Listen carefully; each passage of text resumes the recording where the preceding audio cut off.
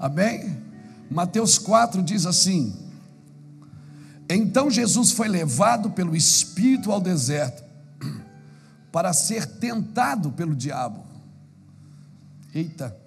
Depois de jejuar por 40 dias e 40 noites, teve fome. O tentador chegou-se a ele e disse: Se tu és o filho de Deus, manda que estas pedras se transformem em pães. Respondeu Jesus: Está escrito: Não só de pão vive o homem, mas de toda a palavra que sai da boca de Deus.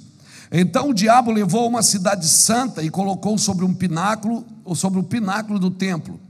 E lhe disse: Se tu és o filho de Deus, lança-te daqui abaixo, pois está escrito: aos seus anjos dará ordem a teu respeito, e eles é, te tomarão nas mãos, para que não tropeces em alguma pedra. Respondeu Jesus: Também está escrito: Não tentarás o Senhor teu Deus. Levou novamente o diabo a um monte muito alto e mostrou-lhe todos os reinos do mundo e seus esplendor. Ele disse: Tudo isto te darei se prostrado me adorares. Então Jesus lhe disse: Vai-te, Satanás, pois está escrito: Ao Senhor teu Deus adorarás e só a Ele servirás. Então o diabo deixou chegar os anjos e o serviram. Amém? Graças a Deus. Tende a tua mão para cá, me abençoa. Eu recebo essa palavra, recebo essa oração. Quem sabe a palavra que vai mexer no seu interior, vai reposicioná-lo, está aqui nessa noite. Quem sabe essa noite é um marco na sua vida, você nunca mais vai ser o mesmo, nunca mais vai ser a mesma. Quem sabe hoje Deus te trouxe aqui para um reposicionamento. Quem sabe hoje você vai conhecer um Deus que você só ouviu falar dele.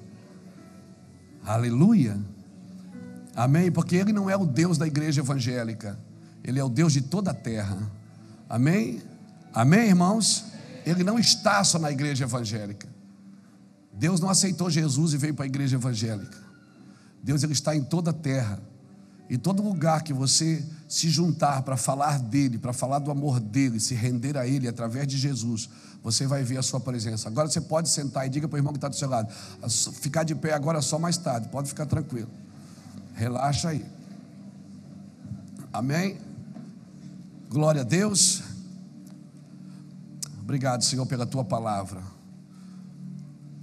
Irmãos, nós vamos pregar, mas eu vou ser franco para você. Talvez não é mais de palavras que nós precisamos. Eu acho que ontem eu falei isso aqui quando estava ministrando aos pastores. É, eu tenho pregado o Evangelho por 22 anos. 23 anos vai fazer, porque eu, eu me converti no dia 1 de dezembro de 95, mas eu fui criado desde menino na igreja, servindo ao Senhor, ouvindo o Evangelho, vendo meus avós orarem, vendo meus avós ir para a vigília, ali na igreja presbiteriana, na 7 de setembro, ali bem pertinho do Hospital Marieta ali na frente. Fernando também foi de lá, não foi, Fernando? Glória a Deus. Desde menino, mas com 13, 14 anos a gente desviou e voltamos com 28 anos. Eu, tenho 51 anos, então faz 23. Mas desses 23 eu prego o evangelho assim, quase que constantemente, 22. E talvez não é de mais palavras que a gente precisa. Porque é, não é pelo tanto falar, então, por esses dias eu não tenho procurado só pregar, eu tenho procurado transferir um sentimento, transferir um coração, e dizer: olha, o que eu estou dizendo mudou a minha vida. Porque ah, senão fica só no campo da informação, e no campo da informação, às vezes a gente sabe de muita coisa que nada interessa. Às vezes a gente sabe de muita coisa que não faz sentido para aquilo que nós precisamos realmente saber. Então, uma das palavras que eu mais ouço nesses dias é: eu sou voluntário, eu sou livre. A gente encontra as pessoas nos aeroportos, aí a gente diz: Ei, você serve a Deus? É, eu sou voluntário lá na igreja tal.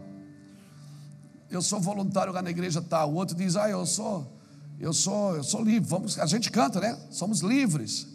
Mas o que é liberdade? Eu, eu, eu acredito que nós precisamos ser voluntariamente responsáveis e livremente comprometidos.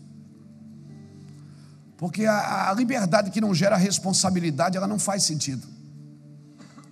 Liberdade, ela é, a base da liberdade é a responsabilidade. Ou seja, quando eu descubro uma verdade, aquilo me torna livre, mas responsável por aquilo que eu descobri. Amém? Porque coisa melhor que tem é não ser preso. Amém?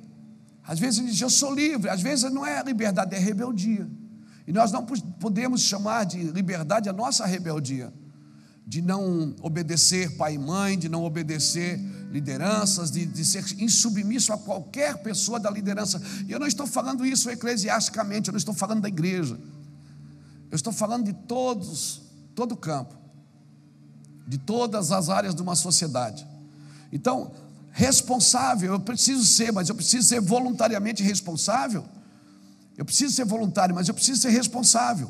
Eu preciso ser livre, mas eu preciso ser um livre comprometido com a liberdade, porque se a liberdade que eu achei só diz respeito a mim, ou seja, eu sou livre, mas eu prendo todo mundo com a liberdade que eu descobri, já não é mais liberdade. Liberdade é você tornar o outro livre como você está. Se aquilo que foi bom para você vai ser bom para o outro. Amém?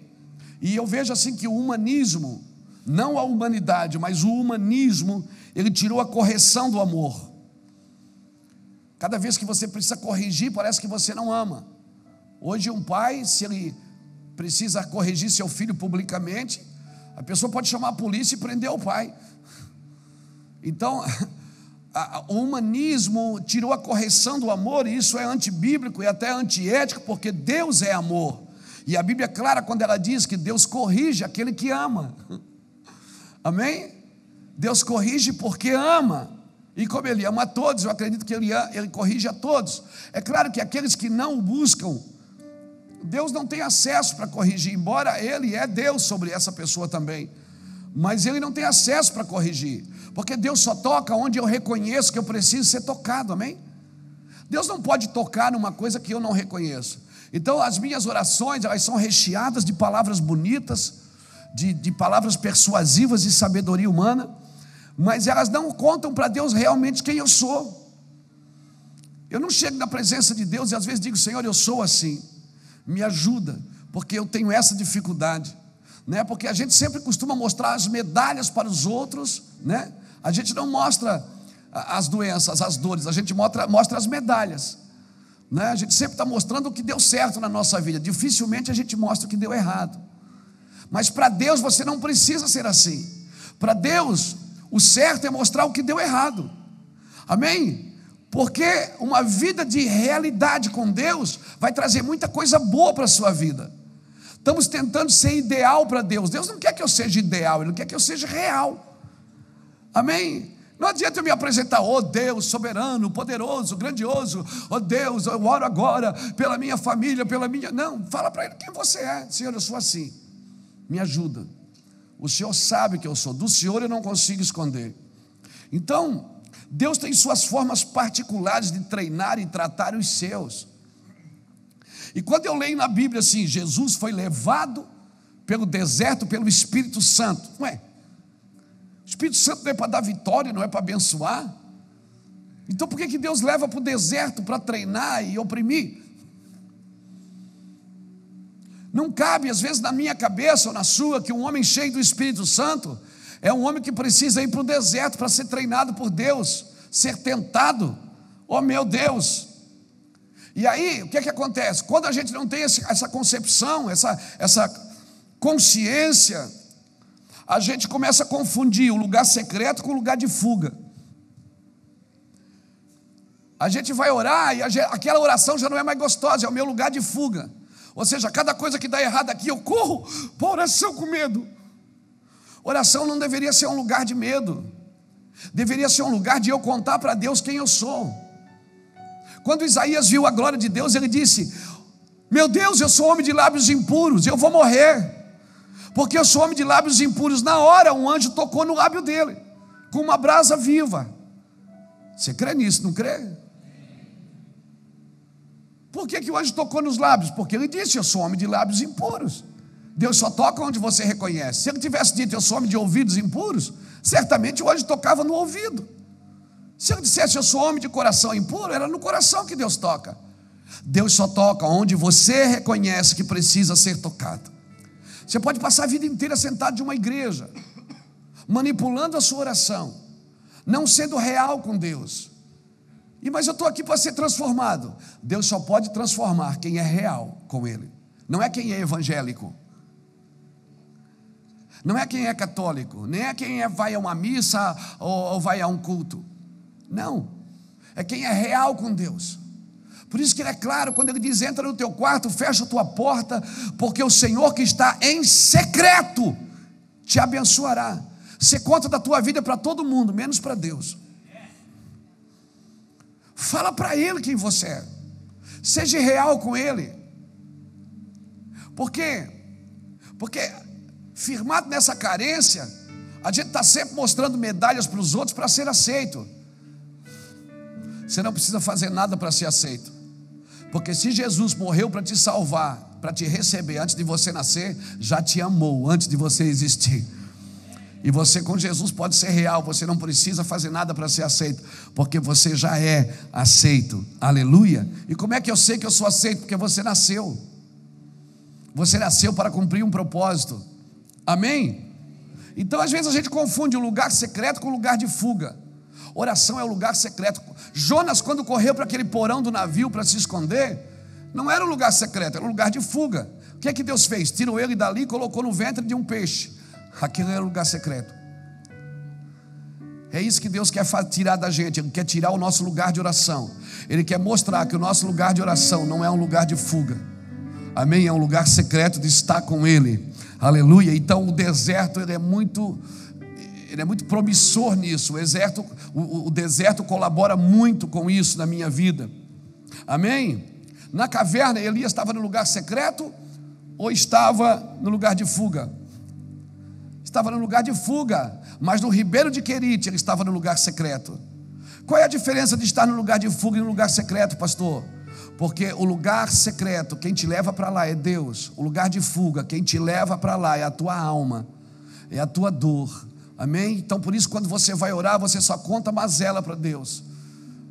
O fato de você mostrar quem você é, não significa que você vai permanecer como está. Aleluia, que Deus pode tocar nas nossas vidas e nos curar. Esse texto que nós lemos, ele é interessante, eu estava meditando nele hoje à tarde, né? Por quê? Porque eu ia ministrar, eu fiquei dando uma olhadinha nesse texto. Uma coisa que eu aprendi aqui é a primeira vez que o Espírito Santo dentro de um homem conversa com Satanás. É o diálogo entre céu e inferno. É o primeiro diálogo entre céu e inferno. É o primeiro lugar, o primeiro diálogo onde o espírito do homem que habita, o espírito de Deus que habita dentro de um ser humano, conversa com Satanás. Irmãos, as melhores lições de Deus sempre foram no deserto. Amém? Quem está no deserto nem diz amém. Hein? Quem tá, agora você tem que entender que esse momento não define quem você é.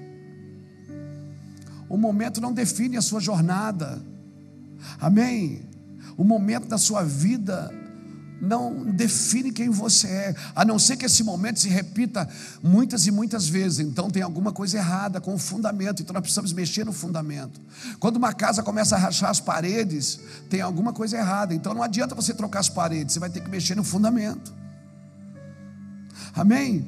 Então, se você vive as mesmas coisas em ciclos, a cada dois anos é a mesma luta, a cada três anos é a mesma coisa, sabe? É aquela coisa que, que volta, ah, voltou, oh, estava bem, agora voltou de novo, no mesmo lugar, no mesmo problema. Você já viu que às vezes acontece uma coisa com o avô aqui, depois acontece uma coisa com o pai aqui, depois acontece uma coisa com o filho aqui, acontece uma coisa com o neto aqui, você já viu isso? Isso a Bíblia chama de maldições hereditárias. Por quê? Porque são coisas. Você já viu que você vai no médico do coração, o médico pergunta para você: tem alguém na sua família com o mesmo problema? É ou não é? Quando você vai fazer exame de câncer, tem uma pessoa que o médico pergunta: tem alguém na sua família? Seu pai, seu avô? Por quê? Porque são, tem coisas genéticas aí. Espiritualmente também, tem doenças genéticas no espírito. Tem doenças espirituais que passam de geração para geração, que não foram curadas numa geração. Amém? Por isso que os pais agora, buscando a Deus, vocês vão trazer vida para os seus filhos. Essas crianças que foram apresentadas hoje, quatro crianças aqui. Irmãos, quando os pais fazem escolhas corretas, eles estão cobrindo seus filhos. Eles estão quebrando raiz de iniquidade sobre seus filhos. Eles estão quebrando raiz de maldições sobre os seus filhos. Eles estão fazendo escolhas pelos seus filhos. Tem muitas escolhas que você já não faz hoje por você, você faz por ele. É ou não é? É ou não é? Louvado seja Deus. E a Bíblia diz que os filhos são herança do Senhor. Sabe o que o Senhor está dizendo? Cuida bem porque é meu. Cuida bem porque é meu. Irmão, a única maneira de Deus mostrar para nós que Ele está no controle é colocando a gente em situações que a gente não pode controlar. A única maneira que Deus mostra para mim e para você que é Ele que governa é colocando você em situações que você não pode fazer nada. E aí você tem que jogar a toalha e ir para o lugar secreto e dizer: Senhor, é do Senhor, é o Senhor que resolve, porque dele, por ele e para ele são todas as coisas e ponto final. Amém? Irmão, o diabo conhecia ou não conhecia Deus? Conhecia ou não conhecia? Satanás conhecia Deus, não, não, ele não acreditava que o Filho de Deus, agora que ele conhecia, estava com fome e frio, estava com sede. Irmãos, ele havia ouvido do próprio Deus. Aqui, quando Jesus foi levado pelo, para o deserto pelo Espírito, o diabo tinha acabado de ouvir: Esse é meu filho amado. Não cabia na cabeça do diabo que o filho de Deus estava sofrendo privações. Toque alguém que está do seu lado e diga, mas dá assim, ó, filhos de Deus passam sim por privações. Filhos de Deus passam sim por privações. Tem pessoas que estão ensinando e pregando que se um filho de Deus passa por privações, não é filho. Não é filho sim. Eu diria, eu trocaria essa frase. Eu diria que filhos de Deus que não suportam as privações e não superam as privações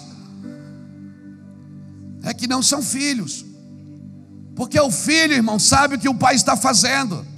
Jesus preso na frente de Pilatos, Pilatos disse: Eu tenho poder para te, te soltar ou te matar. Ele disse: Nenhum poder tu teria se meu pai não tivesse te dado. Ele estava dizendo o seguinte: Eu estou passando por isso, porque é, é isso que meu pai quer que eu passe agora. O meu pai está me usando para tocar alguém.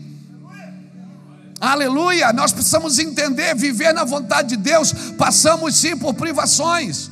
Por que, que a gente quer tirar a aflição do cristianismo? Por que, que a gente quer tirar a cruz do cristianismo? Irmão, alguns pregadores da doutrina da prosperidade não podem entender como um filho de Deus passa por privações. Deus faz sim com seus, faz com que seus filhos passem por privações, porque isso é protetor. Isso é protetor, amém? Um exaltado nunca entenderá a humildade, um soberbo nunca entenderá a humilhação. O que é ensinado muitas vezes é busque seus direitos. Vai buscar seus direitos. Pede, porque Deus tem que dar, Deus não tem que fazer nada. Ele já fez, você é que tem que acreditar no que ele já fez, aleluia. Glória a Jesus. Ele não tem que fazer, eu tenho que acreditar no que ele fez. Que ele me abençoou, Efésios 1:3, com toda a sorte de bênção existentes nas regiões celestiais em Cristo Jesus. Versículo 4, que ele me elegeu nele antes da fundação do mundo, para que eu fosse santo e irrepreensível diante dele em amor. Aleluia! Deus não tem que estar confirmando todo dia, toda semana. Não, pastor, mas agora eu estou indo na igreja e eu comecei. Eu só ouvi esses dias uma pessoa falar, eu tive que. Assim, com muito cuidado, com muito amor, mas tive que falar. Eu não sei como que você faz. Eu, às vezes, as, vem até aqui e volta. Eu tenho que falar. Minha consciência não permite eu, eu guardar uma coisa que pode ajudar uma pessoa, mesmo ela ficando triste comigo na hora. Mas ela falando para mim, pastor, estou indo na igreja, mas agora compensou a campanha no monte. Estou indo para o monte, Deus está. Deus, rapaz, estou indo para o monte para Deus me abençoar.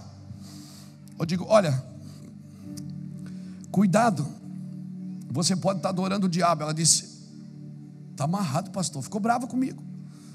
Eu disse: Porque o diabo é o único que leva alguém para o monte para oferecer benefício. Porque Deus, quando leva alguém para o monte, leva para sacrificar. Todo mundo que subiu no monte com Deus levou sacrifício.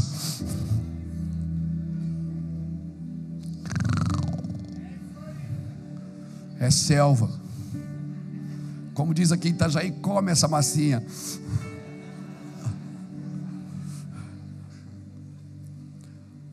Cuidado, porque foi o diabo que levou Jesus para o monte para oferecer benefício. Deus, quando leva alguém para o monte, é para sacrifício. Na realidade, todo encontro com Deus, você vai perder alguma coisa sua e vai ganhar alguma coisa dele. Todo encontro com Deus, você se esvazia de si mesmo. Por isso, viver com Deus na integridade, querido, parece que é difícil, mas não é. Não é. Esses dias conversando, esses dias faz uns 15 anos, estava conversando uma pessoa. Ele disse assim: Rapaz, eu queria muito ser crente, mas é muito difícil. Eu digo, por quê? Ele diz: crente não pode fazer nada. Crente não pode fazer nada, rapaz. Eu digo, quem falou para você que crente não pode? Ele disse: Como assim? Na tua igreja pode? Eu digo: lá pode tudo.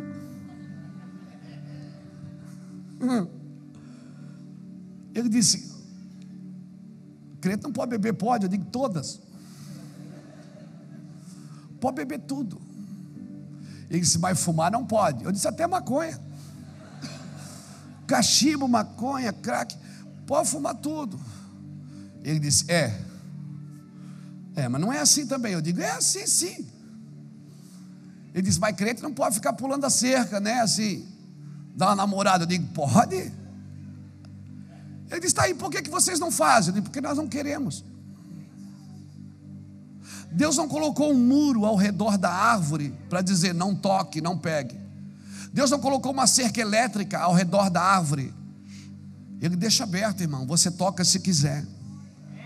Você pega se quiser. Só depois não diga por que, que Deus deixou isso acontecer. Na realidade, ele não deixou. Foi você quem quis. Ele está falando. As nossas escolhas é que definem o nosso destino. São as nossas escolhas. Pastor, mas eu escolhi errado a vida inteira, mas hoje pode mudar. Hoje tem uma porta aberta a Bíblia é clara quando ela diz: Se hoje ouvires a voz do Senhor teu Deus, se hoje, ei, não endureça o teu coração. Se hoje ouvires a voz do Senhor teu Deus, pode recomeçar tudo de novo. Mas dá, pastor, veja, pastor, eu já fiz coisa errada, amigo. Pastor, eu estou no quinto casamento.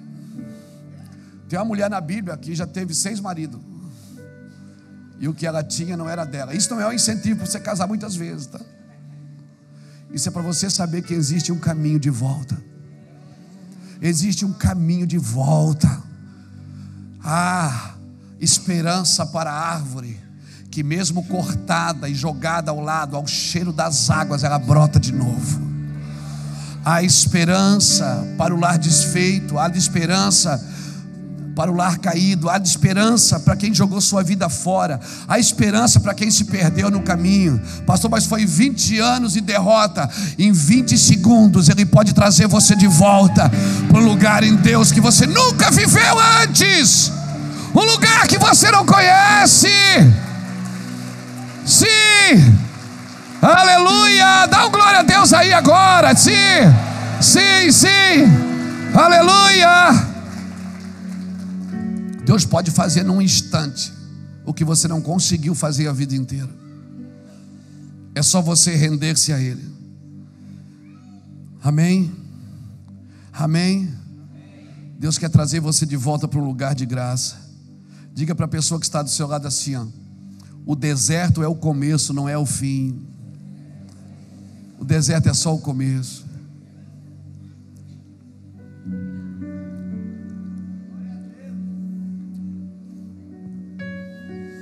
Você já viu que todo mundo que entrega a sua vida para Jesus é batizado, começa a ceiar, começa a orar em língua, começa a entrar no deserto?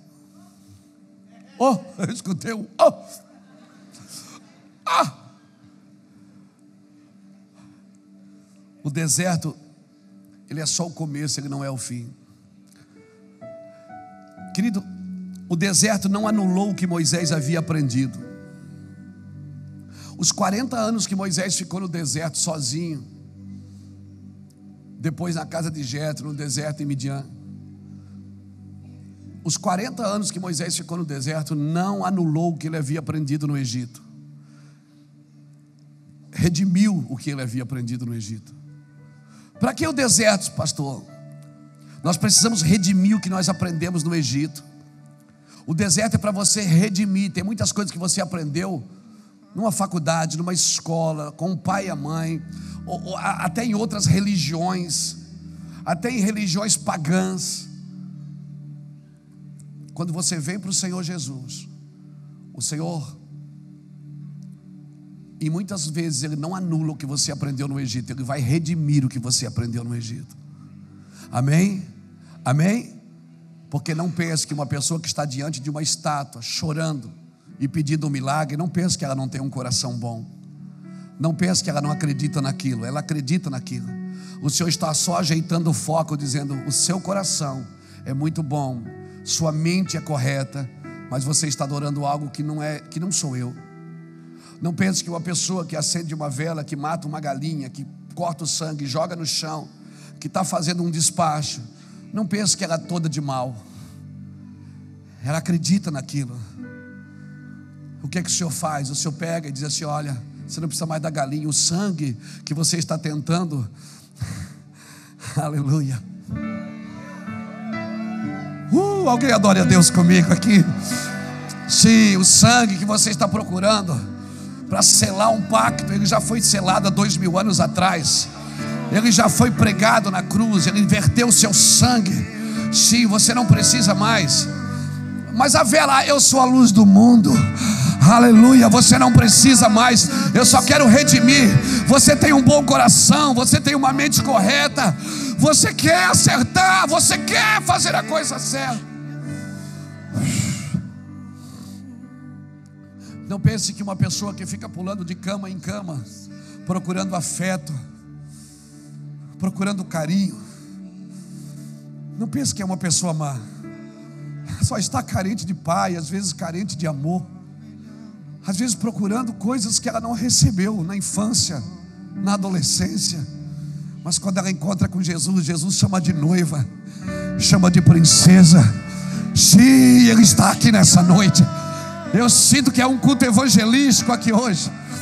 Sim, Deus vai te pegar aqui hoje. Aleluia! Alguém adore a Deus, levanta a sua mão e solta esse leão. Meu Deus! Eu te amo. Glória a Jesus! Glória a Jesus! Causa do seu Aleluia! e eu te amo por causa do seu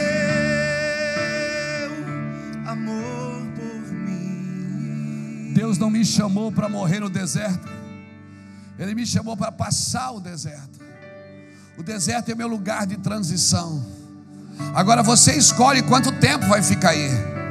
Jesus ficou 40 dias, o povo ficou 40 anos, porque não entendia água, que era Cristo, não entendia pedra, que era Cristo, não entendia o que Deus estava fazendo. O deserto não é o seu lugar. O deserto não é o seu lugar. Aleluia. O seu lugar é no colo dele. O deserto é transitório, é para treinar o seu caráter, treinar a sua perseverança. Sim, sim. E eu te garanto que você não vai procurar mais, não vai mais procurá-lo em uma religião. Irmão, transição é trânsito. A palavra transição vem da palavra trânsito, que significa caminhar. Nós estamos caminhando, nós ainda não chegamos no lugar de onde viemos, aonde estamos, para onde vamos. Quando o Senhor tira do Egito, ele passa pelo deserto para encaminhar para um lugar. E não é um lugar físico, é um lugar nele, é um lugar no espírito. Ministros edificadores, eles não trabalham para cumprir expectativa de pessoas, porque antes de te levarem para a terra prometida, eles vão te levar para o deserto. Por isso que às vezes tem pregadores que a gente tem dificuldade de ouvir. Esses dias alguém me falou, Luiz, eu gosto muito da tua mensagem, mas cara, é muito dura. Eu digo, eu sei. Você quer que eu diga que Deus vai te dar vitória? Você quer que eu diga que Deus vai te prosperar? Você quer que eu diga quem vem buscar a sua bênção? Eu sei que tudo isso vai acontecer e já está acontecendo se você souber quem você é. Sim, você é um filho de Deus. E se a porta não abriu ainda, eu não vou arrombá-la, porque eu sei que ela tem um tempo certo para acontecer. Porque quando ela abrir, ela nunca mais se fechará, irmão. Quando ela abrir, ela não fecha mais, porque quem abre a porta é Ele. Aleluia. Eu preciso de ministros edificadores, por isso que eles são mais criticados. Ministros edificadores são mais criticados, porque eles não são motivadores sem ser primeiro edificadores. Amém?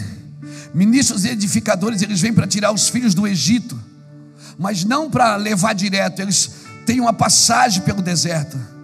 Ministros edificadores levam as pessoas para o deserto para tirar a mente de escravo. Amém? Amém, irmãos? Então, por favor, se tem alguém confrontando você, ame. Eu estou falando confrontando, não afrontando.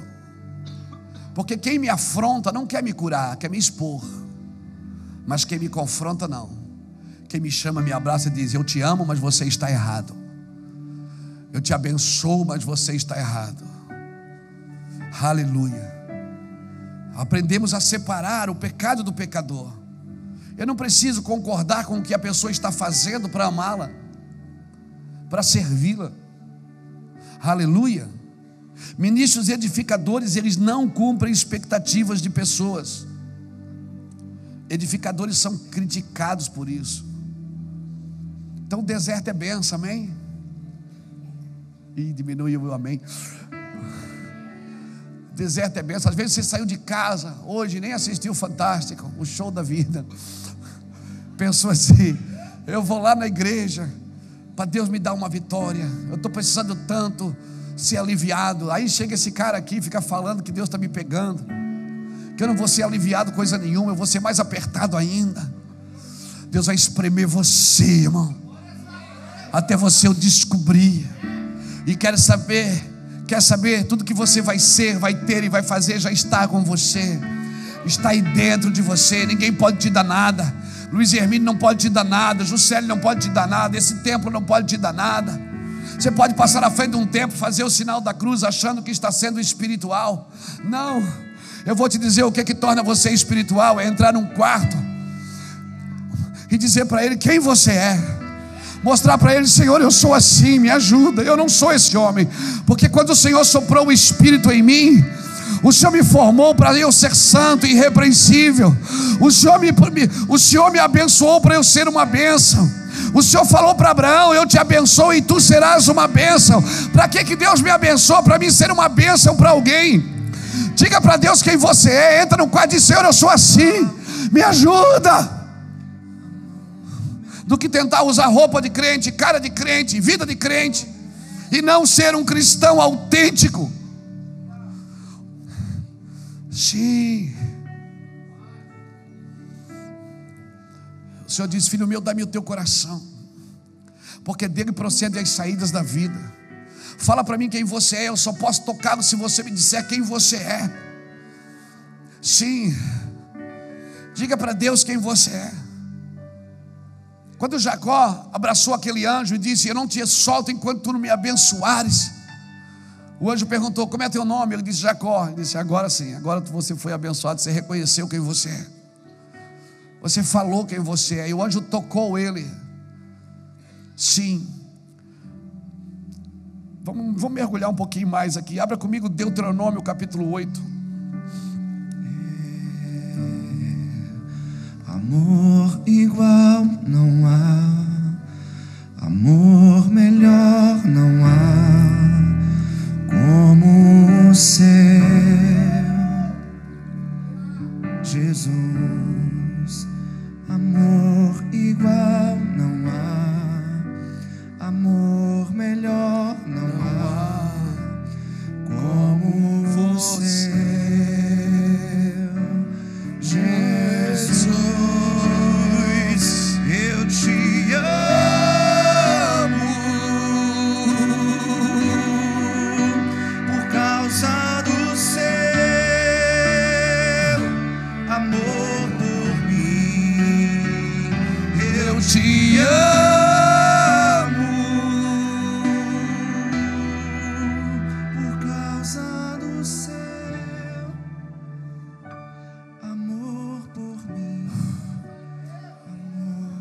Diz Deuteronômio capítulo 8. Vamos ler do versículo de 1 a 5. Terei muito, terei muito cuidado em cumprir todos os mandamentos que hoje vos ordeno para que vivais e vos multipliqueis e entreis de posse da terra, que o Senhor com juramento prometeu aos vossos pais. Lembrar-te-ás de todo o caminho pela qual o Senhor teu Deus te guiou no deserto, esses 40 anos para te humilhar, ai, ai, ai, para te humilhar, para te provar, para saber o que estava no teu coração, se guardarias ou não os mandamentos do Senhor. Ele te afligiu, te deixou ter fome e depois te sustentou com maná que tu ainda não conhecias. E teus pais também não conheceram para te dar entender que não só de pão vive o homem, mas de toda palavra que sai da boca de Deus. Nunca se envelheceram as tuas vestes sobre ti, nem se inchou teus pés esses 40 anos. Reconhece, portanto, em teu coração que, como um homem castiga o seu filho, assim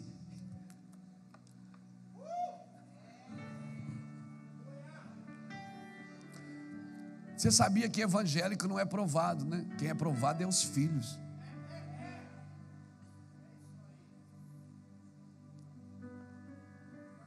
O Senhor disse: Sabe para que eu te levei para o deserto? Para te humilhar. Para quê? Quem é que Deus precisa humilhar? Quem é? Soberbo. Quem é que Deus precisa tratar? A palavra humildade, ela vem da palavra humus, que é a mesma palavra para esterco. Humus. Você lembra daquela figueira que nasceu no meio da videira? Lembra desse texto? Nasceu uma figueira no meio da videira, e o viticultor disse assim: o dono da videira disse: manda cortar essa figueira que ela nunca dá fruto. Aí o viticultor que cuidava da vide, da vide disse assim: Deixa, me dá mais um ano, deixa eu cuidar dela por mais um ano. Eu vou escavar e colocar esterco. Se ela não der fruto em um ano, nós arranca e põe no lixo. O viticultor é o Espírito Santo, irmão. Que ele está aqui para escavar. Ele tá, escavar significa o quê? Expor as raízes. E ele põe o que nas raízes? Humildade, esterco, humus. Ele diz: Deixa eu escavar ele. Então, para que você vai para o deserto? Sabe por que você está no deserto? Sabe por que Deus está te pegando? Assim está expondo você para colocar humildade nas suas raízes. Não é nas suas atitudes, é nas suas intenções. Porque se as suas intenções forem humildes, certamente suas atitudes a serão. Então não adianta fazer carinha de humilde. Não. A humildade está na raiz. Porque a humildade não é pensar menos de si, é pensar menos em si. O humilde, ele sabe quem ele é. Eu sou filho de Deus e ponto final. Eu sei que Deus me chamou para fazer. Eu sei que Deus me levantou como uma voz nessa nação. Eu sei, ponto final. Ah, mas você não é soberba? Não. O humilde sabe quem é. Só que ele não pensa em si. Humildade não é pensar menos em si, é pensar não é pensar menos de si, é pensar menos em si.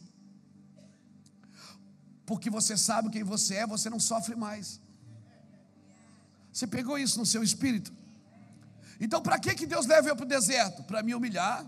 Meu Deus, que prova. Para te provar, para saber o que estava no teu coração. Peraí, o senhor não sabe tudo? O senhor não é o sabichão? O senhor não é onipotente, onipresente? Não é? O senhor não sabe tudo, o senhor diz que sabe, o que está no meu coração antes que a palavra chegue na minha boca. É ou não é? Então por que, que ele diz? Para que, que, que Deus leva para o deserto? Para saber o que estava no teu coração. Deus sabe ou não sabe o que está no teu coração? Sabe ou não sabe? Então para que, que ele leva você para o deserto se ele já sabe? Quem não sabe é você. Você não sabe quem você realmente é até você ter um encontro com a sua realidade, com um choque de realidade. Como Jó disse, é, eu pensei que eu te conhecia, mas eu te conhecia de ouvir falar, mas agora os meus olhos te veem. Agora que eu fui provado, agora que eu superei a dificuldade, que eu superei a necessidade, que eu superei a carência, que eu superei, agora eu sei que o meu redentor vive, aleluia, aleluia, glória a Jesus. Então Deus não leva você para o deserto porque Ele precisa de prova de amor. Deus sabe quem o ama. Ele sabe que ele, quem são os seus. Por isso que ele só leva para o deserto os seus. Para quê? Para te deixar ter fome. Para quê? Para te dar um maná que tu ainda não conheces. Para te dar revelações da palavra que você só leu, mas nunca percebeu. Que você só leu, mas nunca entendeu. Que você só leu, mas nunca desfrutou Sim, que você leu para os outros, você pregou a Bíblia para os outros, apontou o dedo aos outros, mas agora não, quando você lê, diz: Meu Deus, é para mim esse negócio, para te dar um maná que tu ainda não conheces. Porque quando ele te leva para o deserto, a primeira coisa que ele muda é o cardápio. Quando o povo foi para o deserto, o pão caía do céu. Porque no deserto é Deus quem te alimenta, não é você que planta no deserto não é fruto da sua colheita, é fruto da sua rendição. É você se rendendo e Deus se alimentando. É você se rendendo. No deserto você não cava poço. Abate na pedra que sai água, porque a água te segue. Aleluia. No deserto você não compra roupa, sapato, porque cresce junto. É um negócio extremamente abençoador. No deserto você vai, não é porque Deus é mau, você vai para conhecer a provisão de Deus. No deserto Deus te leva para dizer o seguinte: eu trouxe você para cá para mostrar para você que quem governa sou eu, quem te dá de comer sou eu, quem te dá de vestir sou eu, quem arrumou esse emprego foi eu, quem te deu essa promoção foi eu, quem te deu esse lar foi eu, essa casa não foi você que construiu, foi eu, essa essa empresa sou eu que te dei. E quando você reconhece isso rápido, você sai do deserto rápido. Não, dá um glória a Deus de crente. Ah, meu pai, você é lindo. Levaste-me para o deserto para ter teu coração. É, é. Provocaste-me fome e sede para ser minha água e pão. É, amor igual não há. As músicas aqui é na hora, viu, irmão? Fica tranquilo é de acordo com a situação. Porque cantar quando está tudo bem é uma beleza. Eu quero ver você cantar no deserto e dizer: Nem só de pão vive o homem. E o diabo atribulando, e você olhando para ele e dizer: Nem só de pão vive o homem. E o diabo dizendo: Você não tem nada, por que você não amaldiçoa esse Deus e morre? Não, não, eu sei que o meu redentor vive. Eu sei que o meu redentor vive. Tudo isso que está acontecendo tem um propósito, é para aumentar. A minha fé vai crescer, a minha visão vai desenvolver, meus, meus ouvidos vão expandir, minha mente vai desenvolver. Eu vou andar naquilo que Deus me chamou para andar. Aleluia, porque só Ele pode treinar os seus.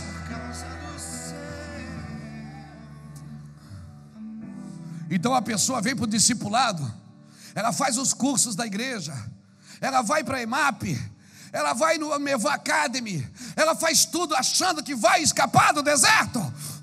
Não, vai!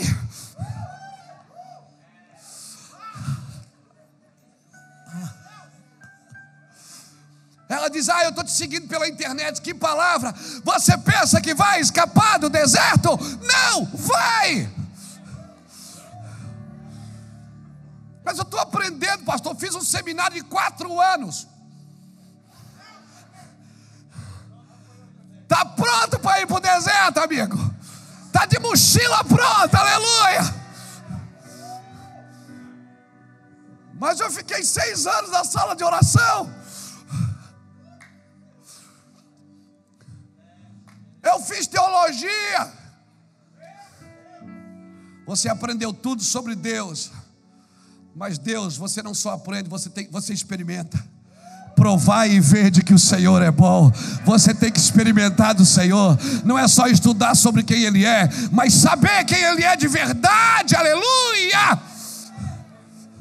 Eu estou doido aqui hoje, irmão. Eu sei que isso pegou você por dentro. Amanhã você vai trabalhar ligado, plugado. Braidoc, faca na boca. Aleluia. Glória a Deus. Glória a Deus. Esse é o treinamento do Senhor. E depois do treinamento vem o que, pastor? Depois do treinamento vem o que?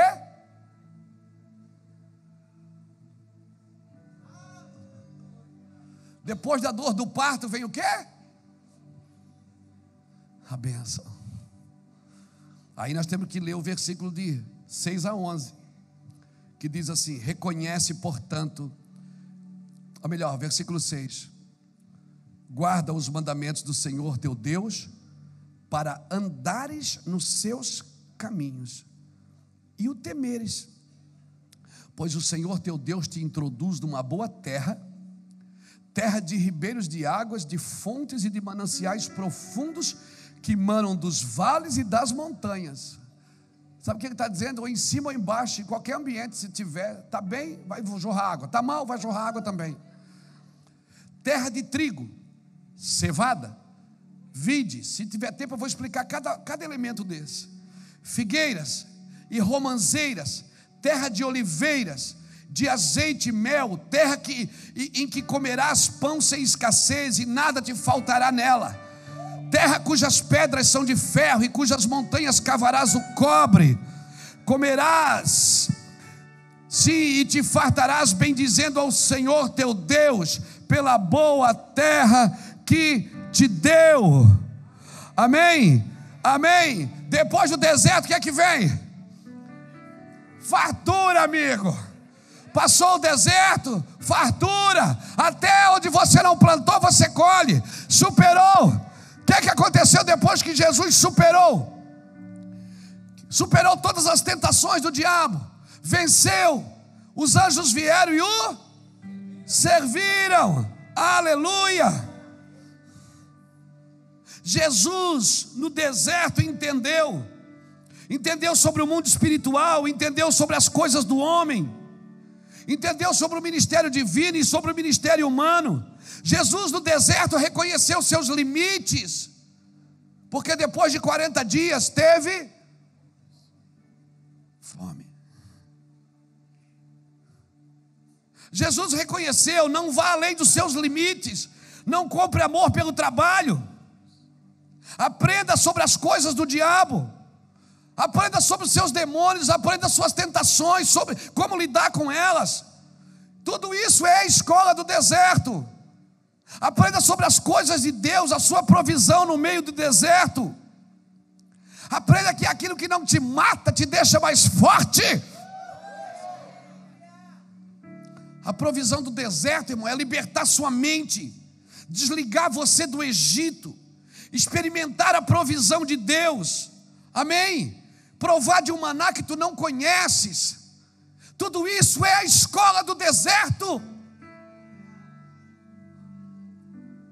É para dar um maná que você ainda não conhece, um segredo do coração de Deus. Deus quer conversar com você sobre isso. Resumindo, deserto é um manancial de bênção. Amém? Jason, bota aí, deserto, manancial de bênção. Aleluia. Depois de superar, vem a bênção, irmão. Versículo 7. Vai jorrar água do, do ribeiros, dos ribeiros que estão no monte, que estão nos vales. É dos ribeiros, não é das cisternas. Não é das cisternas rotas que você fez para reter as águas. É dos ribeiros, deixa correr, irmão, deixa passar por você. Ah, mas eu estou juntando. Juntar para quê, amigo? Hein? Juntar para quê? Deixa o ribeiro correr. Ai, mas às vezes o cara vai comer com a família, vem por causa de 10 reais. Mesquinho. Não, esse, vamos comer esse prato que é mais barato, né? Amanhã, sabe como é que é? Vai desfrutar. Se você viveu um deserto, passou no deserto, para de comer areia, vai comer o que é bom. Vai desfrutar. Aleluia. Constrói cisternas para reter. Não, não é de cisternas, não. É de ribeiros, ribeiros que vão fluir, dos rios vão fluir, dos lagos vão fluir, dos montes e vão fluir dos vales. Em qualquer ocasião é bênção, querido. Em cima ou embaixo é bênção. E aí ele começa a falar dos alimentos. Deixa eu passar rápido aqui. Ele fala de sete alimentos da terra prometida. Ele diz: terra que mana trigo. Tu comerás o teu trigo. Trigo fala de qualidade. Porque você vai ver a Bíblia falando de trigo e de cevada. E aqui fala também. Trigo era o alimento do rico. Por isso que você comprava uma efa de farinha por um ciclo e duas efas de cevada por um ciclo. Trigo era, era, era, era a comida do rico e, e cevada era a comida do, da pessoa que morava na vila mais pobre. Por isso que quando Gideão foi espiar aqueles dois guardas, e os dois guardas disseram: Nós tivemos uma visão, vimos um pão de cevada rolando. E aí um disse para o outro: Ah, esse é a casa de Gideão dando, dando contra o exército dos medianitas. Por que é um pão de cevada? Porque Gideão disse: Eu sou pobre, minha família é pobre, meu pai é pobre, todo mundo é pobre. Então, para que Gideão entendesse que era ele, Deus colocou um pão de cevada no sonho do rapaz. Você pegou isso? Ele diz: trigo vai ter qualidade, cevada vai ter quantidade. Tu comerás da vides, das vides, da, da videira. As videiras produzem o quê? Uva, uva é para fazer vinho. Vinho na Bíblia representa o quê? Alegria. Deus está dizendo, é terra que você vai sentir alegre. Figo. Figo não está na Bíblia por acaso. Figo na Bíblia. O que é que Uzias, o Acas, passou nas feridas? Pasta de figo. Figo é para cura. Figo fala de prosperidade em Israel, fala de paz, fala de segurança, de cura. Romã. Romã. Fala de beleza. Fala de vestes sacerdotais, que os sacerdotes usavam romãs nas roupas sacerdotais. Azeite. Fala de unção. E que mais? Mel. Mel fala de pureza, saúde, sabedoria e temor. A palavra do Senhor é como mel que destila dos favos. A palavra do Senhor é como mel, mel é pureza. Então o que, é que o Senhor está dizendo? Esse lugar que você superou, esse deserto que você superou, te levou para um lugar de qualidade, de quantidade, de alegria, de paz, de prosperidade, de segurança, de cura, de beleza, de vestes sacerdotais. E aí, irmão, é claro, quando você está no deserto, tem um monte de gente orando por você. Quando você começa a desfrutar do que Deus deu, depois que você superou, tem um monte de gente criticando você. Dizendo, ó, oh, está roubando, fale o que quiser, meu amigo, eu superei o deserto.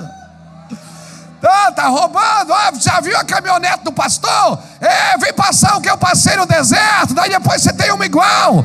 Aleluia! Você viu a mulher do pastor? Está cada dia mais bonita, é, meu amor, aleluia. Vem passar o que a gente já passou, pendurando roupa atrás da geladeira para ir para o culto, porque não tinha dinheiro para comprar, usando o mesmo sutiã por anos.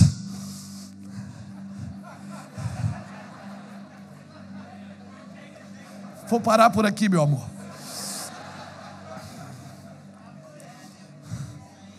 Aí vem a gente desfrutando, ladrão. Não é ladrão, não, irmão, é vencedor, rapaz. Somos vencedor, nós vencemos. Investimos milhões no reino de Deus.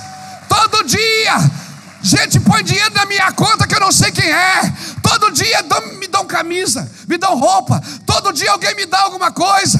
Ei, já passei em casa orando por anos, dizendo: Deus, eu só queria comer, eu só queria ter uma lata de Nescau para o meu filho. E ele dizia: Fica tranquilo, supera, supera, porque vai chegar um dia que vai transbordar a mão direita e você, hoje, hoje você chora por uma lata de Nescau, mas um dia você vai comprar um caminhão cheio de Nescau para mandar para a África, para mandar para a Índia, para mandar para as crianças do Nordeste. Ei, supere a sua vida e para de tocar os outros. Desfrute. Eu estou colhendo o que eu plantei, irmão. Lágrimas, choro. E quanto mais o Senhor me dá, mais eu invisto. Quanto mais o Senhor me dá, mais eu avanço, mais igreja nós construímos, mais nações nós avançamos, mais nós viajamos, nós vamos gastar tudo. O anticristo, quando chegar, não vai ter dinheiro no banco. Nós vamos gastar tudo, né, Léo? Depois você faz a. Depois você faz a escola com o Léo, você vai saber se o anticristo vai passar ou não vai. Aleluia. O anticristo vai passar o cartão do Mevan assim, não tem nada guardado, nós gastamos tudo não tem nada, aleluia, glória a Deus, aleluia, aleluia. O anticristo, vai ter anticristo, vai ter anticristo, aleluia. Glória a Jesus. Vou parar por aqui, Jesus. Ajuda teu servo. Aleluia. Mas quando ele passar no nosso guarda-roupa também, não vai ter roupa com traça guardada. Não vai ter caixinha de joias guardada Sim, não vai ter nada estocado, porque nós bebemos é do ribeiro. Nós bebemos é do ribeiro. Não é da cisterna, não. Nós bebemos é do ribeiro. Quando nós queremos uma coisa maior, a gente dá o que tem. Dá o que tem, daqui no, na semana seguinte vem uma maior. Eu fui dando o carro até chegar nela. Quando chegou nela, eu disse: Jesus, dá um tempo. Me dá graça agora, segura a onda aí. Mas daqui a pouco ela vai também. Sim. Quando você bebe de, de, do ribeiro, a água corre, irmão. E você pega e bebe, e não precisa guardar na garrafinha. Ai, com medo que vai acabar. Não, amanhã você passa, está correndo de novo. E você passa, está correndo de novo. E está correndo de novo. Aleluia. Tem alguém comigo entendendo essa palavra? Sim, tem alguém comigo entendendo essa palavra. Por isso, Judas segurava a, a bolsinha do dinheiro assim. E Jesus dizia: dá aos pobres. Judas ficava doido. Segurava a bolsa, dá, dá para eles. Não, mas é. Pode dar, amanhã tem mais. Ei, você bebe da onde? Das cisternas rotas? Grande maldade fez o meu povo. Jeremias capítulo 2, versículo alguma coisa. 13, se eu não me engano. Duas maldades fez o meu povo, me deixou e construiu cisternas rotas para si que não pode reter as minhas águas. Não, você está entendendo isso? A sua vida vai mudar hoje aqui, amigo. Hoje eu vou te falar, você vai sair daqui com uma mentalidade diferente sobre isso. Já passamos por duas fases aqui. Passamos pela fase do treinamento do deserto e passamos pela fase da bênção. Só que tem uma fase agora que nós precisamos parar nela, e eu vou terminar aqui. Vamos ler então do versículo 11.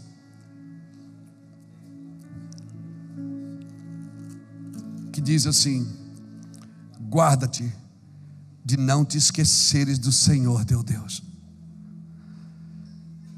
não cumprindo os seus mandamentos e os seus juízos e os seus estatutos que hoje te ordeno, para não suceder que depois de teres comido estares farto, de teres edificado boa casa e habitado nelas, e depois de multiplicares as tuas vacas e as tuas ovelhas, e aumentar a prata e o ouro e tudo que tens, se, ensorbepa, se ensorbebeça o teu coração, e te esqueças do Senhor teu Deus, que te tirou da terra do Egito e da casa de servidão.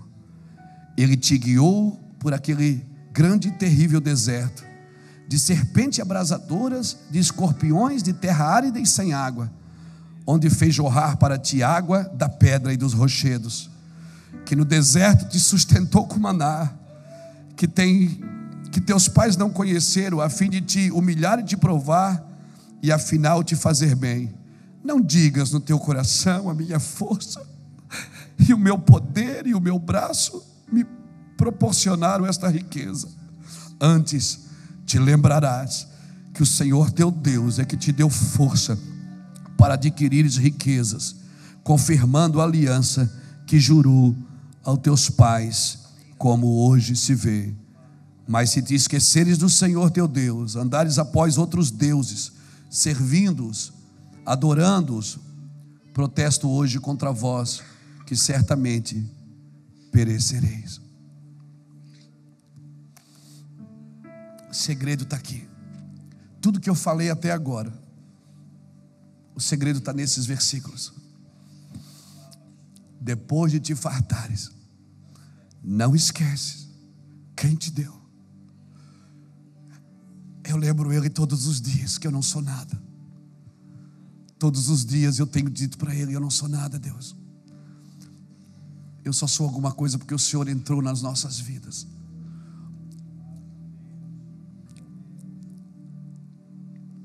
A fama não servia Jesus, mas Jesus se servia da fama. A sua fama corria por toda a Galileia, por toda a Judéia. Mas havia uma intrépida resolução na sua face de quem ia para Jerusalém, ou seja, a fama apontava para onde? Para o propósito. Então, deixa eu te falar uma coisa: o Senhor quer te prosperar.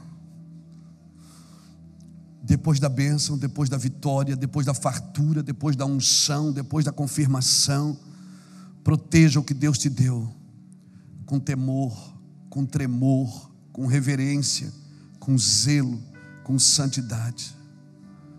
Proteja isso, querido. Seja maduro. E entenda que não é o Senhor, não é, não é a tua força que te deu, não é a tua fama que te deu, não é a tua posição que te deu, foi eu quem fiz. Não digas no teu coração que foi o meu braço, foi a minha ideia. Não digas no teu coração, antes lembrarás que foi o Senhor teu Deus. E sabe de uma coisa? Você já você que já passou o deserto, cada vez que você esquece disso, Deus faz, faz você ir fazer uma visita no deserto. Não é para ficar 40 dias ou 40 anos, mas é só uma visita. Só passa assim e mostra a foto. Se lembra? Amém, Senhor, amém. Ele disse: Lembra? É para que você quer voltar? Disse, não, não. Claro que não, Deus. Ele disse: então Converta teu coração. Guarde a sua mente. Esconda suas intenções em mim. O treinamento vai te jogar num lugar de bênção. Mas a bênção tem que te jogar num lugar de maturidade, não de autossuficiência. Eu quero deixar essa palavra no seu espírito. E quero convidar você que está aqui nessa noite Você que está no deserto, você ainda que está no Egito. Vamos começar por quem está no Egito?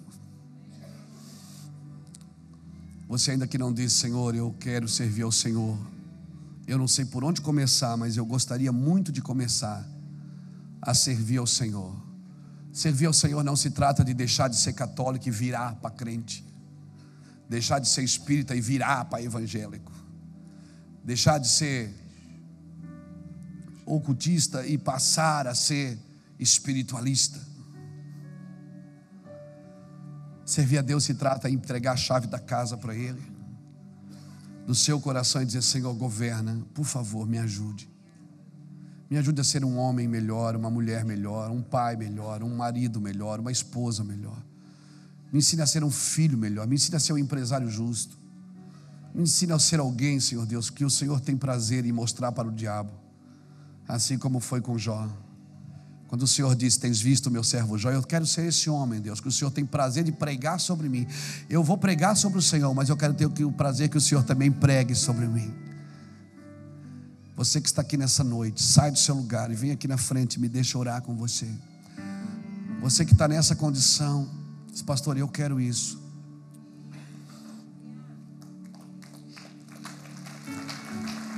Eu quero orar por você.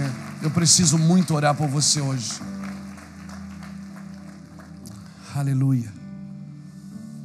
Deus quer dar um começo hoje, um start, apertar um botão com você. Deus vai mudar a sua vida, menina. Amém? Vai mudar a sua vida. Você tem algo grande para fazer na sua vida. Querido, Deus vai mudar a sua vida, meu irmão. Glória a Deus, querida. Glória a Deus, meu irmão. Que bom, que boa escolha, que boa decisão. Aleluia. Deus vai mexer nessa casa. Eu creio. Eu creio que Ele vai mexer. Ele vai mexer nessa casa.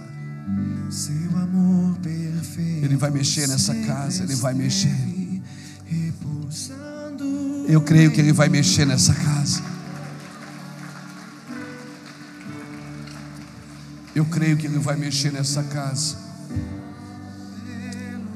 Que bom que vocês fizeram essa escolha. Que decisão boa. Que boa decisão a de vocês hoje. O Senhor vai mexer na vida de vocês sobrenaturalmente. Amém? Eu vejo um negócio parado aqui nas suas mãos. Começou, mas parece que não vai. O Senhor vai botar as mãos nesse negócio. Amém? Creia nisso. Creia nisso. Teus braços É o meu descanso. Deus vai mexer nesse lar, vai mexer nesta casa. Eu creio que Ele vai fazer algo sobrenatural aqui. Que coisa linda, meu irmão. Que tanta gente, que tanta gente. Olha que tanta gente. Você viu que tanta gente. Você viu quantas pessoas querem Jesus? Aleluia! Alguém pode glorificar a Deus comigo? Ele vai mexer na sua casa, vai mexer sim. Ele vai mexer nas vossas vidas. Ele tem algo sobrenatural para vocês, algo sobrenatural. Amém? É um tempo de deserto. É um tempo de perder algumas coisas para achar as outras que foram perdidas. Amém? É um tempo que Deus fechou portas, muitas portas se fecharam. Meu Deus, e agora? E agora? Você vai entrar num quarto comigo. Eu vou te dar tanta sabedoria, tanta sabedoria. Eu vou te dar tanta sabedoria. Eu vou te dar tanto entendimento, tanto entendimento. Que bom que vocês estão aqui. Aleluia. Glória a Deus. Seu amor perfeito sempre esteve repousando em mim. Para alguns o deserto está acabando nesses dias. Alguns estão entrando, mas para alguns está acabando nesses dias. Aleluia, meu Deus, que noite gloriosa.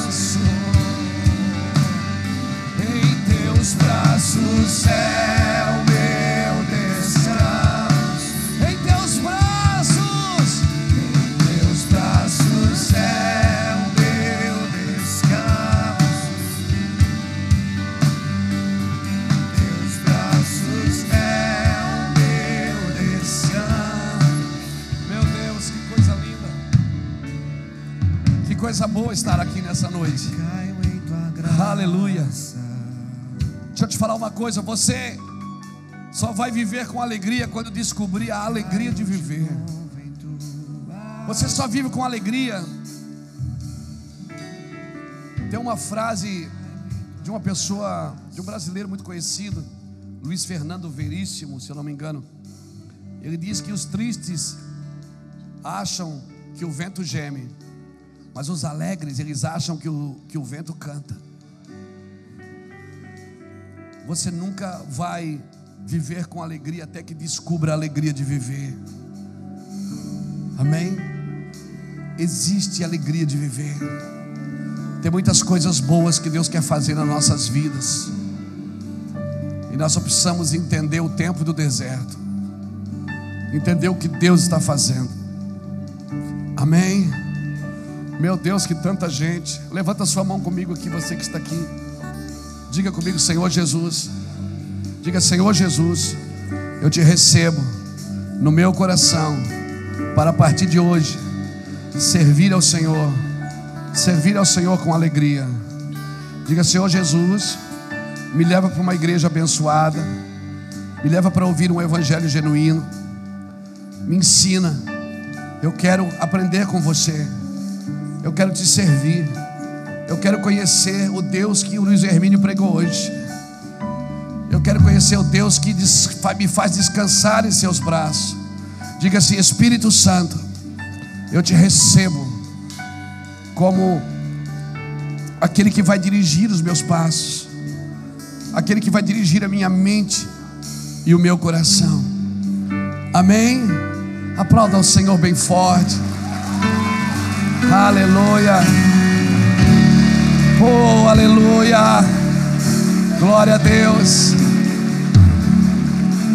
Glória a Deus. Quem é que está no comando aqui hoje? Esse, esse, esse casal aqui, levante a mão. Esses dois aqui, aqui, ó. Você que veio aqui na frente, eles vão te levar naquela sala e vão te dar um presente. É rapidinho. É um minuto, você vai e volta. É muito rápido. Não tenha medo, não dói nada, não é injeção não. É só para você saber o que você fez e como você pode ser ajudado por essa igreja a descobrir coisas profundas no Senhor. Agora, eu quero orar por vocês. Quero orar por vocês. Amém. Vem aqui para frente, vem. Sai do seu lugar, vem aqui para frente.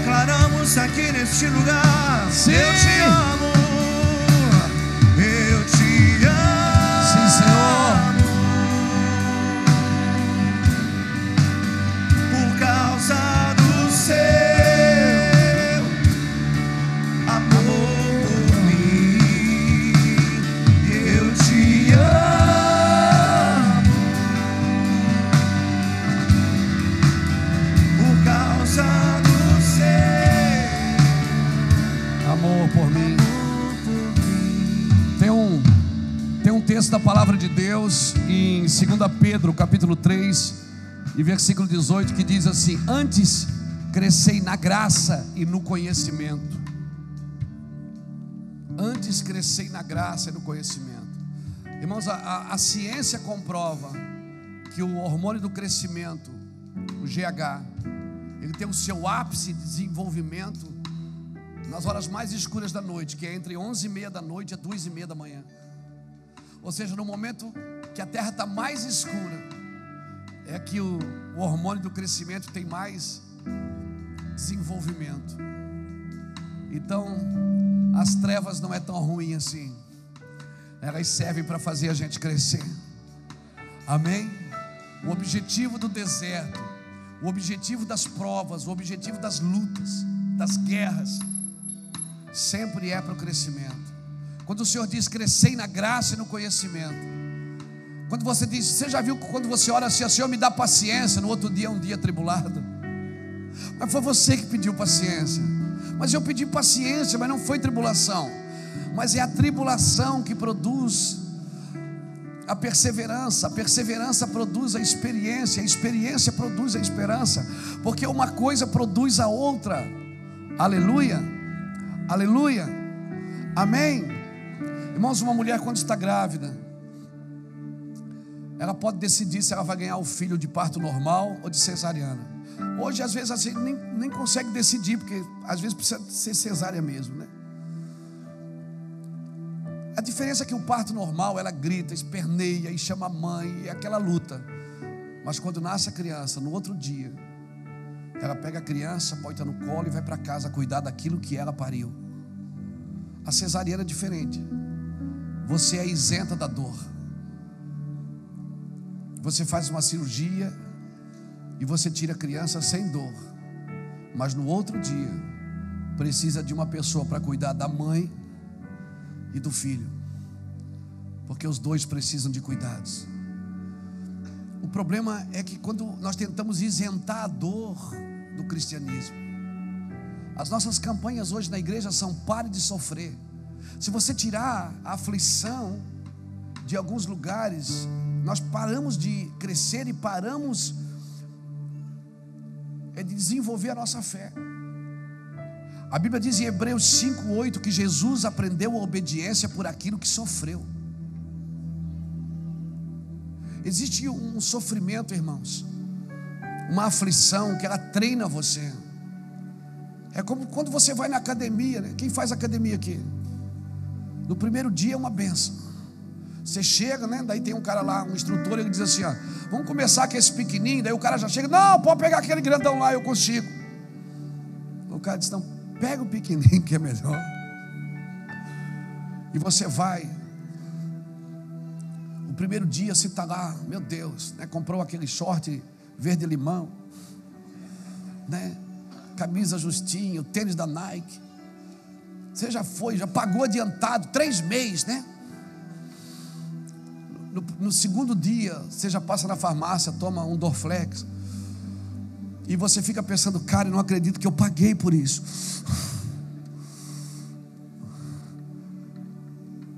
Mas você não percebe, mas aquilo está desenvolvendo seus músculos. Querido, a fé é igual. Você lê, parece que não acontece nada.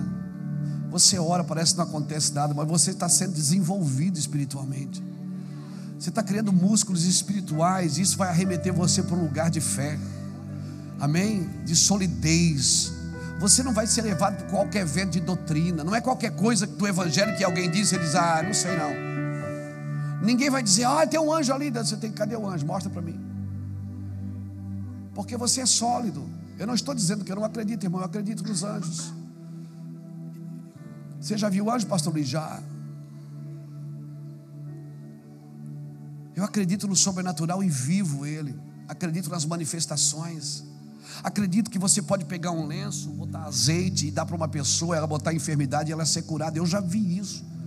Eu tive em Portugal uma vez, uma mulher estava com câncer, mas ela não pôde vir na reunião. Eu enchi um lenço de azeite assim, dei para a moça, leva para ela, põe na, no câncer. A mulher foi curada.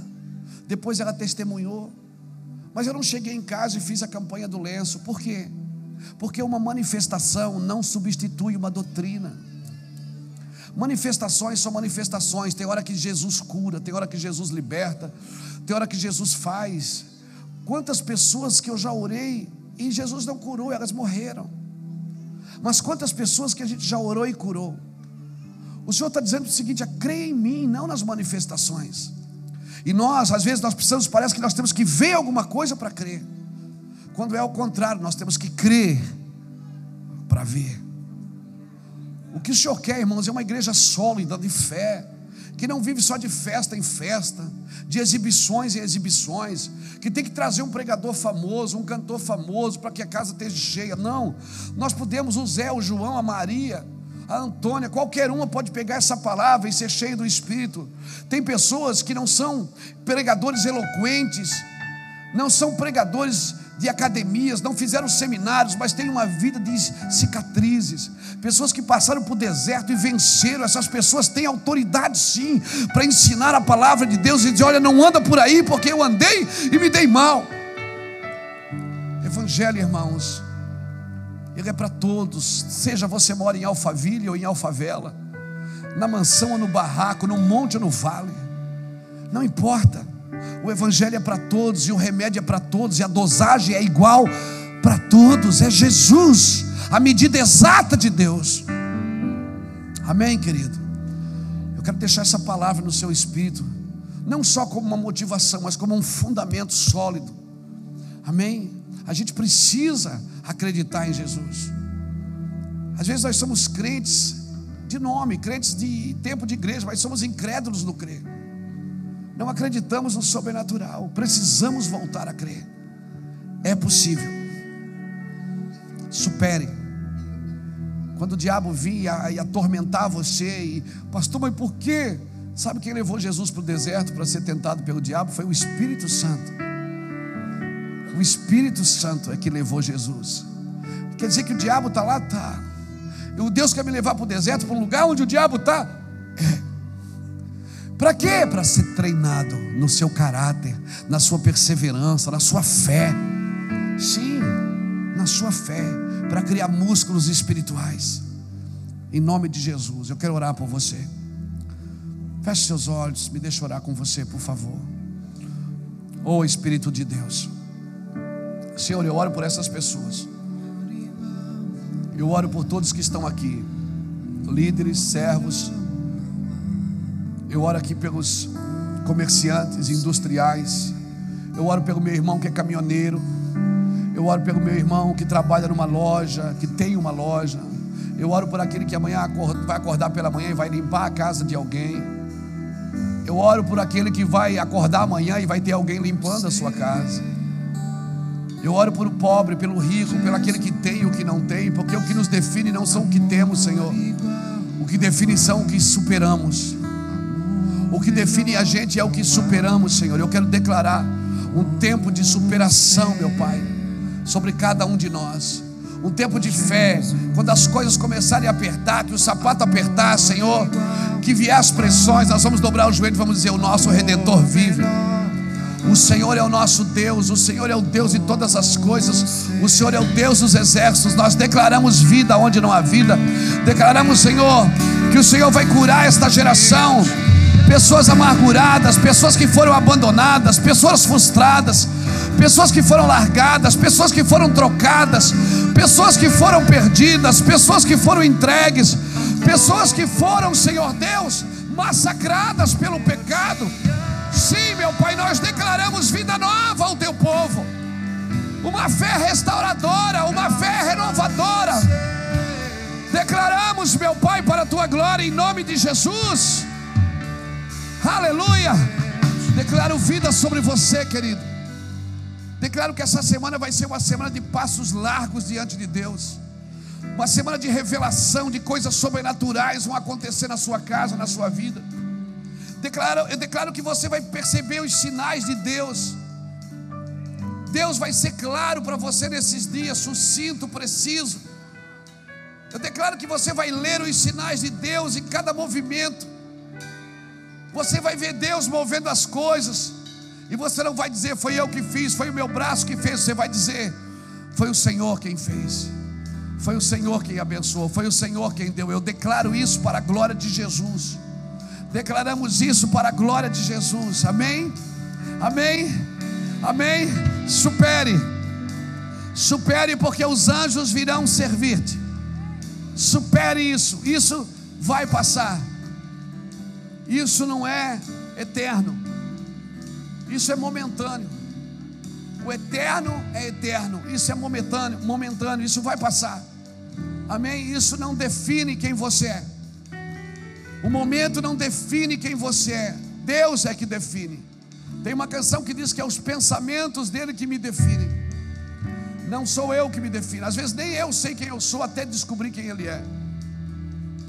Por isso que ele perguntou para Pedro: Quem tu disse é o filho do homem? Ele disse: O Cristo, o filho do Deus vive. Ele disse: Tu és Pedro. Quando Pedro descobriu quem ele era, Jesus apontou e disse: Tu és Pedro. A minha identidade está em descobrir quem Deus é. A minha identidade está em descobrir quem Deus é. Quando eu descubro quem Ele é, eu descubro quem eu sou. E quando eu descubro quem eu sou, eu descubro o que eu vim fazer. Aleluia. Que o Senhor te abençoe e te guarde. Que o Senhor faça resplandecer o seu rosto sobre ti. E que tenha misericórdia de ti. Que o Senhor sobre ti levante seu rosto e te dê a paz. Sabe qual é a, a, a sensação que eu tenho aqui? No meu testemunho interior é que muitas chaves viraram aqui no seu interior. Leia os evangelhos, leia provérbios, tem 31 provérbios, leia um por dia. Leia um por dia. Leia o evangelho. Descubra a palavra. Deixa ela pegar você por dentro. O problema é que você vai na Bíblia tentar tirar alguma coisa dela. Deixa a Bíblia tirar alguma coisa de você.